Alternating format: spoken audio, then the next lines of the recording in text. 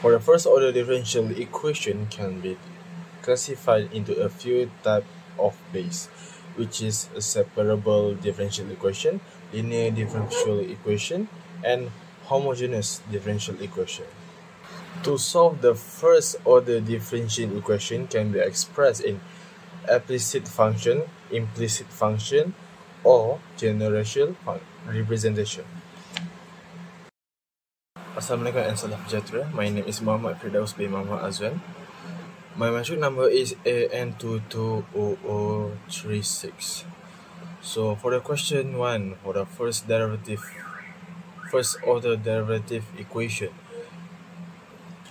we have the questions uh, L is equal to 1 over 4 and our, the resistance is equal to 8 and the power supply is 18 so therefore we can create a equation. 1 over 4 times with di over dt plus 8i equals to 18 so to make it easy for us to calculate we'll we will times with 4 with r and et. Therefore we'll get di over dt plus 32i equals to 72. And for the first derivative, we need to put the exponent at the front. Therefore, we get exponent to, to the power of range 32 dt is equal to exponent power of 32t.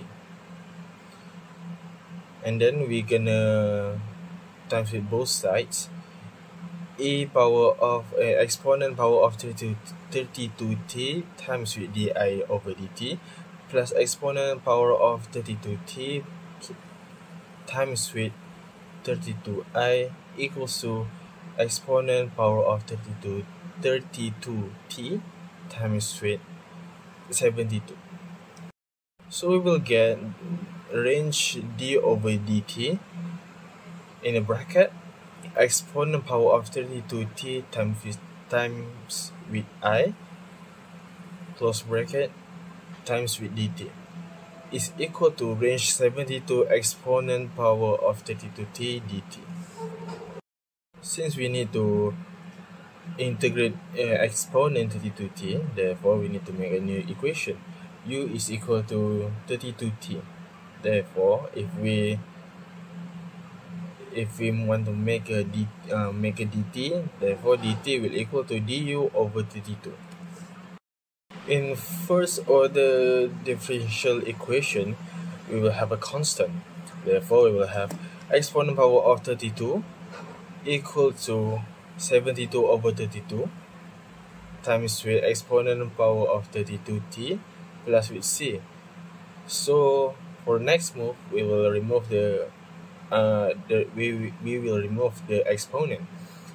Therefore, we will have exponent power of 32t over exponent power of 32t times with i is equal to 32 is eh, 72 over 32 exponent power of 32 t over exponent power of 32t plus with c over exponent 32t. So now we will have the answer it is equal to 9 over 4 plus c ex c exponent power of negative 32t. In the question they stated that if if the initial current is 0, therefore we need to find the constant value which is c. So if i is equal to 0, therefore 9 over 4 plus c is equal to 0. To find the value of c, we will get, we will only uh, switch the part the 9, 9 over 4. Therefore, c is equal to negative 9 over 4. Therefore, the initial and therefore the initial for current is 9 over 4 minus 9 over 4 exponent power of 32t. Assalamualaikum warahmatullahi wabarakatuh. My name is Wan Daniel Faruqi bin Roslan. My metric number is CN220090. So, I'm going to explain you the first order differentiation equation example of RL circuit. So as you can see, the circuit is uh, the circuit contains V, uh, R, I, VL, and L. So as you can see, uh, the equation of V minus VR minus VL equals to zero, which is the Kirchhoff's loop rule. Uh, which sum of potential difference in a loop equals to zero. So as you can see, V VR is voltage drop across resistor and VL is voltage drop across inductor. So for our first order linear, uh, the equation is L di over dt plus Ri equals to V. So moving on to our first step to solve this problem, L L di over dt plus R over L I equals to V over L. You have to divide it by L. So you will get the equation of di over dt plus r over l i equals to v over l which r over l is constant so after you get this equation you have to integrate eh, you have to integrate factor. So the equation you will get is es e integrate of r over l dt is when we integrate we will get rl over l so the next equation is e RT over L in the bracket of di over dt plus dr over L I if equals to V over L. So the next uh, step is to integrate it. After integrate it, you will get ERT over L in the bracket of di over dt plus R over L I plus the bracket equals to V over L E R T over L which in this equation you will get the product rule. So as you can see after that you have to solve it you will get uh, IE RT over L equals to V over L with the symbol of integrate of ERT over L dt so after that you integrate you will get V over L multiplied times L over R equals uh, tell E RT over L plus C which is constant. After that you will get the general solution I equals to V over R plus CE minus and negative RT over R. So when we added some condition when I is 0 T equal to 0 I equals to I0 I0 equals to I over R plus CE 0 which is the particular particular solution. So you will get the final answer I0 minus V over R plus C. Thank you. That's all. Bismillahirrahmanirrahim. Assalamualaikum. My name is Amazi Fahmi Bihazali. Number matrix CN220108. The introduction of second order is a mathematical equation that relates an unknown function, its derivative and the independent variable. Second is the general form of a second order differential equation is where y represents the unknown function of s and a, b and c are constant. The term fs represents an any additional terms of forcing function that might be present. Yes, all. Thank you. Assalamualaikum. My name Ahmad Hazi Fahmi bin Hazadi. Metric number CN220108. The example 1 for second order differential equation the circuit has given value is resistance is 330 ohm the inductor value is 0.2 henry and capacitor is value 20 microfarad so we use formula ld2i over dt square plus rdi over dt plus 1 over c times i equals 0 the auxiliary equation is Lm square plus Rm plus 1 over C equals 0. So we substitute of value L, R and C. So we get 0 0.2 M square plus 330 M plus 50,000. We get simultaneous equation. So M1 get negative 1481.22 and M2 get negative 168.78 so I equal AE M AE power by M1T plus EE power by M2T So we substitute value my and m2 this equation.